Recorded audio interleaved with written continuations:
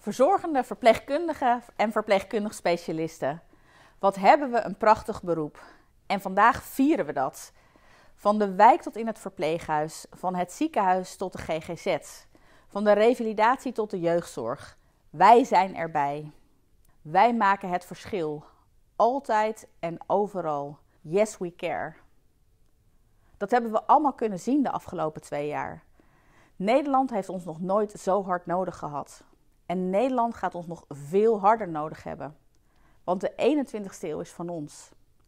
De belangrijkste uitdagingen in de zorg liggen in het verpleegkundig en verzorgend domein. Het verbeteren van gezondheid en voorkomen van ziekte.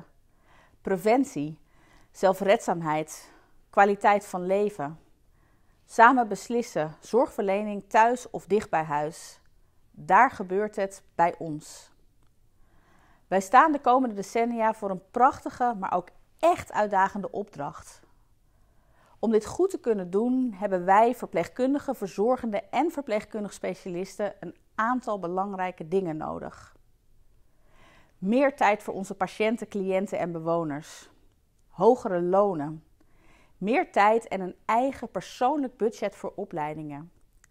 Meer mogelijkheden om je te specialiseren of juist te verbreden in onderzoek, beleid of onderwijs. Een betere werk-privébalans en een betere begeleiding van starters en stagiaires. Leg voor hen de rode loper uit. En meer, veel meer professionele zeggenschap. Want er is maar één iemand de baas over ons vak en dat zijn wij. Het is echt niet ingewikkeld. Wil je goede zorg? Dan moet je investeren in de mensen die de zorg verlenen.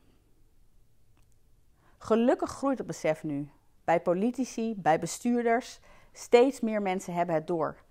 Maar het gaat niet vanzelf. Het is niet in één dag opgelost.